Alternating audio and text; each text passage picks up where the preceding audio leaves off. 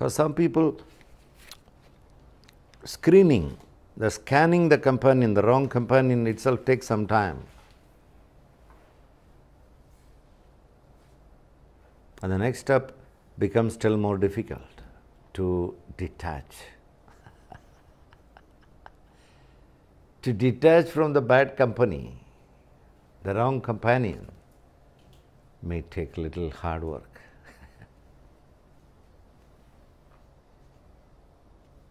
I suggested, I suggested, Carla, you close down all your mobile phones, your PCs and computers, etc.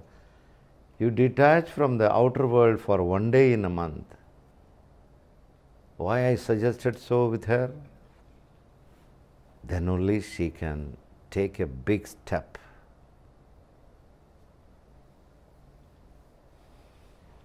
This silence exercise, this sadhana have given to her just to detach from the useless companion, inner companion.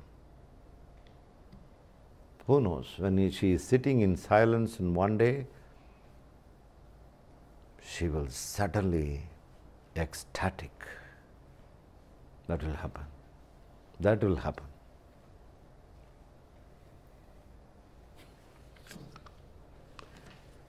It's not a punishment. Eh? It looks like punishment. What is this man is telling? Traveling all the way from India to come here, I have been happily working every day with my smartphone and computer. he is asking me to give a holiday for one day for my computers. Why he is giving such a punishment to me? I'm really enjoying my computer. I say to you, please enjoy twenty-nine days, your computers. Give holiday to your computer and smartphone one day in a month. Do not do anything on the day except eating, drinking, that's all, sleeping. Attend the nature calls. Never do any other thing. Tell your friends, today I am sorry, tomorrow I can. You tell the date well in advance. This day don't communicate with me. Arrange yourself. Sit quietly. Close your eyes.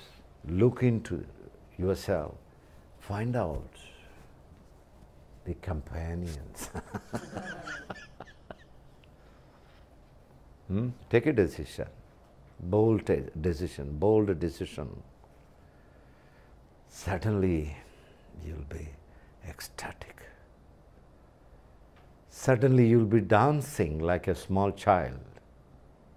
What is going to happen to you, I am telling in well in advance.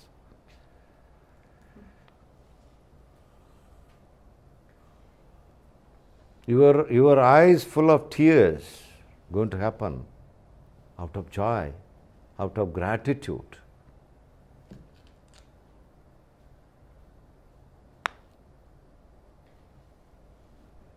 That's why I give such a kind of sadhana sometimes here and there.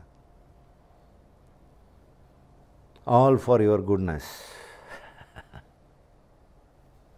no. For you, this will do. Because you have been traveling in this path for very, very long years. No. Your job will be quicker and easier.